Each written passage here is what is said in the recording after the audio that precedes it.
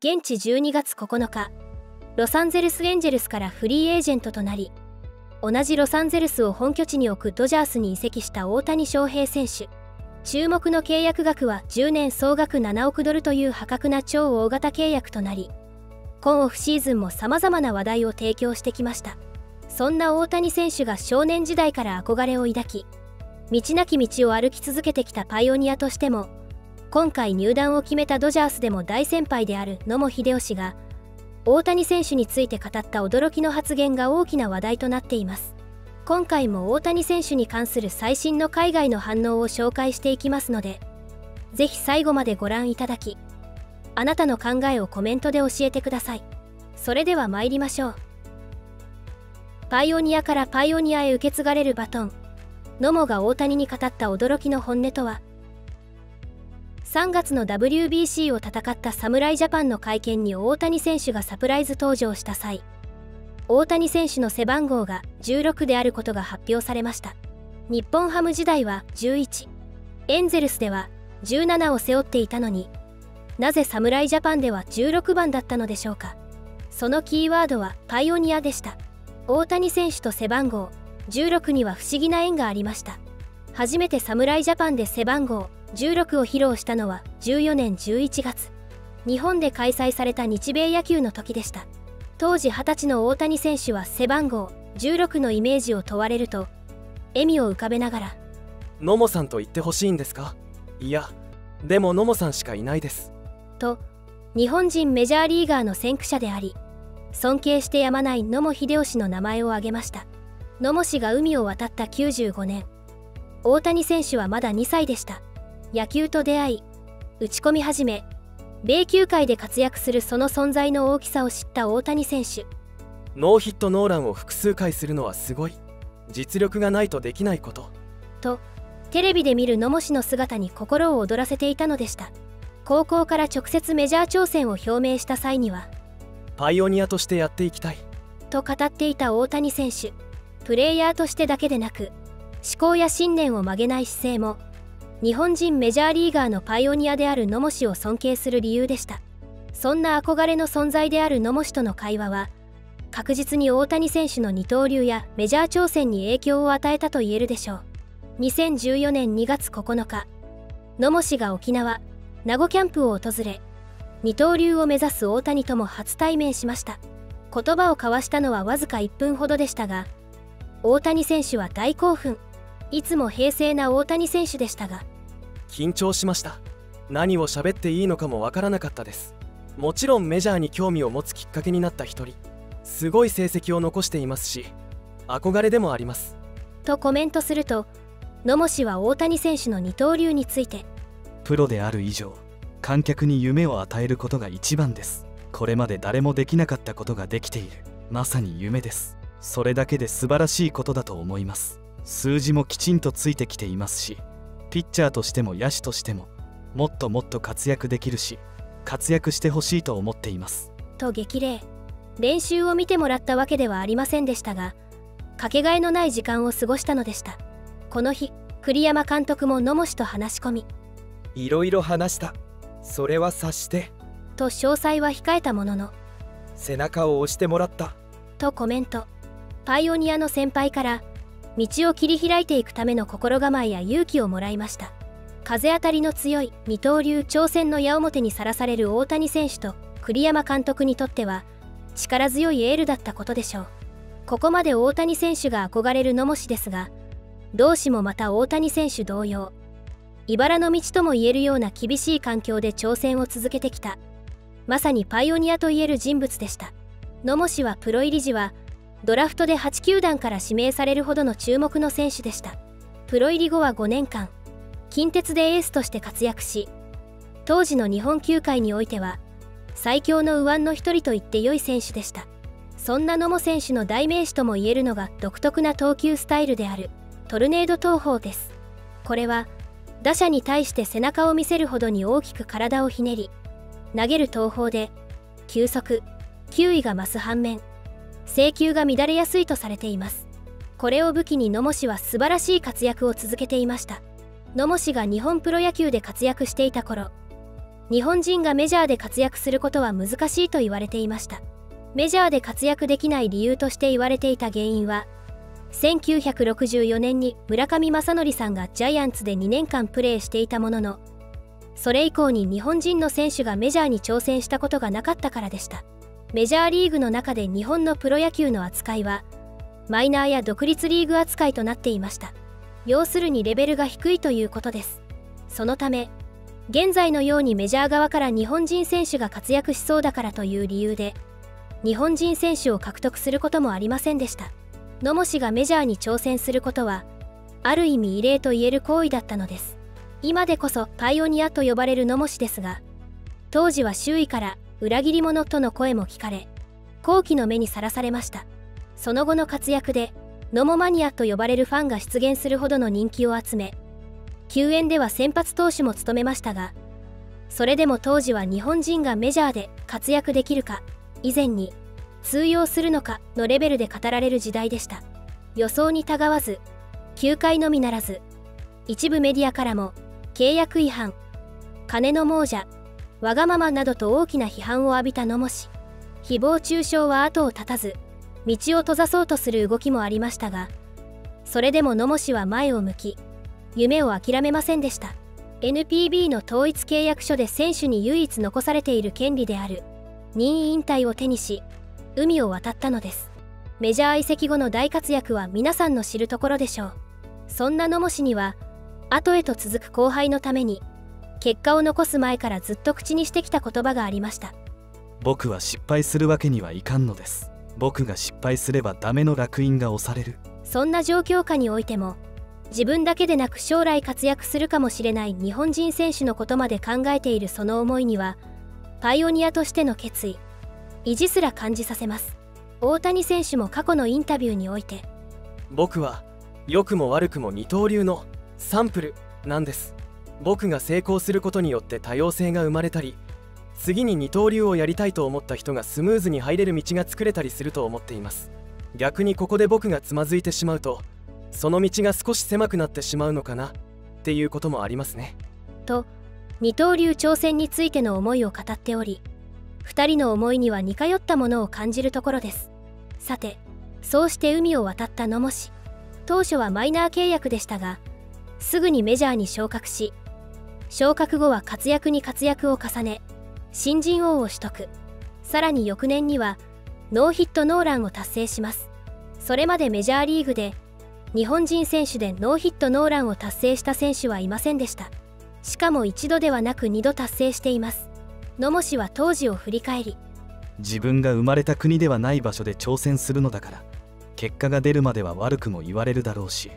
いろいろなことがあるだろうけどそれを当たり前と思おうと決めていた。と語っていました。当初周りからの評判は活躍できない通用するはずがないなどのネガティブなことばかりでしたがそれを全て覆し野茂氏はメジャーで大活躍したのです。また野茂氏の代名詞ともいえるトルネード投法はアメリカの野球ファンにとって見たこともない投球フォームだったこともあり彼らの心をぐっとつかみました。この活躍により1995年には日本とアメリカで鮮烈な野茂フィーバーが巻き起こりました。野茂氏のメジャー挑戦と成功によりメジャー挑戦を決意した日本人選手はたくさんいたことでしょう。実際野茂氏の活躍以降メジャーに挑戦する日本人選手の数は飛躍的に増えました。メジャーへの道を切り開いた野茂氏の功績は非常に大きいものです。だからこそ現在でも多くの日本人選手から尊敬されているのでしょう。そんな野茂氏ですが関西テレビのプロ野球交流戦中継に解説で出演した際に大谷選手についてかなわない。とまで発言しています。大谷選手はこの日本拠地でのレッドソックス戦に2番投手兼 DH で先発。1点を追う5回ワンアウト1塁の第3打席で10試合ぶりとなる逆転の12号ツーランを放ちました。投げては7回100球4安打1失点2四球6奪三振の回答でチームは5対2で勝利。シーズン最速となる101マイルもマークし4勝目を挙げていました。この試合の VTR を見た解説の古田敦也氏から野茂さんもホームラン打ってますよね。何本ですか？と聞かれると野茂氏は4本です。と返答。古田氏から多いと驚かれるといやいや古田さんよりは打つかもわからないですけど大谷君にはかなわないですよ。と苦笑いしこうなってほしいと思って見てましたけど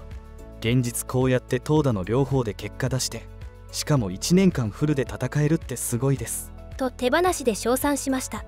また急速の話題になると野茂氏は100マイル超えるとバッターの打率が一気に下がるんですよ。コントロール関係なく投げるだけで抑えられるって感じになってますね。そこまでついていけてないんでしょうねバッターが。と分析していました。このように憧れの大先輩にも認められ今やメジャーでも唯一無二の存在として君臨することとなった大谷選手。メジャー挑戦時からさまざまな評論家や有識者が厳しい意見を向けてきましたが米国内でももはや認めざるを得ない状況となっているようです。米ニューヨーク州地元紙ニューヨーク・タイムズは大谷選手が手厳しい米国の批評家たちすらお手上げにさせている理由に注目。レジェンドであるイチロー氏らとの違いを説明しています。大谷の契約は金銭や感覚を超える。との見出しで同志のケン・ベルソン記者が執筆。記事では日本人選手の秀夫野茂からイチロー鈴木。そして秀樹松井の契約は利益をもたらすものであった。しかし大谷の記録的な大金は完全に違うものだ。とし野茂英雄イチロー松井秀喜というかつての日本人スターを引き合いに大谷選手の価値を指摘しました。ベルソン記者は日本人プレイヤーが単に優れているというだけでなく国際的なゲームの中で最高でそして最も人気があることの証拠である。と金額面での記録もさることながら大谷選手が世界に与える影響に注目。しかしこれまでは日本人選手がメジャーリーグで成功するにつれて懐疑的な人は批判の理由を探してきた。と過去の事例をこのように挙げました。秀夫野茂は1995年にドジャースに入団しその年の新人王に選出された。しかしひねくれ者たちは彼が成功したのは型破りなストップモーションの投げ方をしていたからだと主張した。イチロー鈴木が2004年に262安打でメジャー記録を作った時評論家たちは彼は主にゴロやライナーを打つから達成できたと批判した。秀樹松井は日本ではトップスラッガーだったがヤンキースでは普通のパワーヒッターだった。記事ではこうした批判的な意見が飛び交う米国の地でも大谷選手が称賛を浴びていることを強調。その理由について米国人たちを彼らの得意な分野で圧倒している。と分析しています。日本野球について著書を複数出版しているロバート・ホワイティング氏の話として。彼は500フィートのホームランを打って時速100マイルの球を投げることができほとんどの米国人よりも大きくて力強いのだ。と説明。誰よりも遠くに飛ばし誰よりも速く投げるという本質的な身体能力で荒探しも許さないパフォーマンスを特筆しています。二刀流で数々の記録を樹立してきた大谷選手。ですがエンゼルスでプレーした6年間はプレーオフに進出できず。ベルソン記者は大谷と元 MVP のフレディ・フリーマンとムーキー・ベッツに加え優秀な投手陣のチームを組めればこれから10年間は強力なチームになれるかもしれない。と期待を込めています。ネット上では野球のことはほとんどわからない私は夫が BS を見ながら彼の活躍を応援している姿を見て少しずつ大谷選手を知る機会に恵まれました。野茂も松井もイチローもすごい選手だと言われていたけど野球に対するストイックさや実績の他にもやっぱり大谷さんはみんなに愛される愛嬌をすごく持っていますよね。そりゃあ敵チームの選手にも笑顔で対応されちゃうよなって思います。日本のおばちゃんたちが翔平ちゃん大好きとファンになるのも納得できます。監督チームメイト相手チームファン。メディアなど全てに愛される彼は日本の宝です。メジャーリーグが最高峰でありアメリカ人が一番であると思うのは自然な話。ただし大谷翔平はそれさえも打ち消すようなパフォーマンスを披露し自らの実力で封じ込めた。大谷はオールラウンドで抜きん出ておりそこが大きく違う。フレンドリーな態度も公然と見せ発言も優等生的だが嫌味に聞こえない。また熱いハートもたまに体現する。プレースタイルや日頃の仕草からもその柔軟性の素晴らしさを感じさせる。その人間力も最大の魅力でアメリカ人だけでなく皆を虜にする天性の才能を持っていると思う。大谷選手の強みは有言実行。失敗を苦にしないで勇気を持って前に進む力。それは絶え間ない努力から来る賜物だ。それを周囲が認めて信頼している。実績も十分ある。野茂英雄さんもその点では間違いなくレジェンドだ。最初に MLB の窓口を開いた。かなり苦労したと思う。ある意味大谷選手とよく似た力を持っていた。今後大谷選手は半端ないプレッシャーとの戦いが待っているだろうが彼はそれを楽しむだろう。と大谷選手への称賛の声が多く上がっていました。人とは違う道を歩けば当然のように好奇の目にさらされることになります。大谷選手も野茂氏もそんな好奇の目に負けない決意。それを覆すほどの強さを持っていたという点で似ていたと言えるでしょう。野茂氏をはじめとする先人の活躍によって日本人のメジャー挑戦も今では当然のように変化してきました。いつか大谷選手の活躍によって二刀流が当たり前だと言われる日が来るのかもしれませんね。最後までご覧いただきありがとうございました。この動画が良かったら高評価チャンネル登録をよろしくお願いいたします。それではまた次の動画でお会いしましょう。